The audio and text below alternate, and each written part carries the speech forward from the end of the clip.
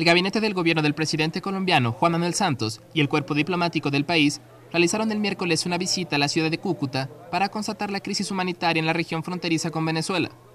A la visita asistieron diplomáticos de 20 países, quienes escucharon los testimonios de los colombianos que desde el pasado 20 de agosto viven en carpas en nueve albergues dispuestos en la región fronteriza, luego de que el presidente venezolano Nicolás Maduro ordenara el cierre de la frontera con Colombia. En el Consejo de Ministros realizado durante la misma jornada, Santos aseguró que las deportaciones masivas de colombianos desde Venezuela tienen que ver con motivos políticos y electorales.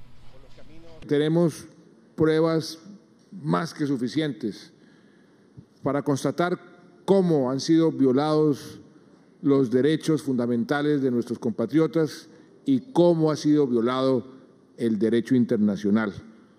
Lo que nosotros exigimos es que cese esa violación de los derechos humanos y el derecho internacional.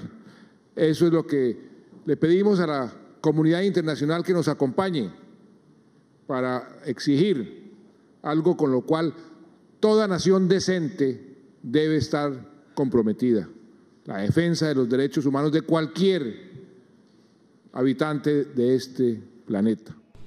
Por su parte, la Cancillería colombiana anunció que la próxima semana se reunirá en Ginebra con el alto comisionado para los derechos humanos, con el director internacional de migraciones y con el secretario general de la ONU para denunciar la situación que afecta a los colombianos deportados.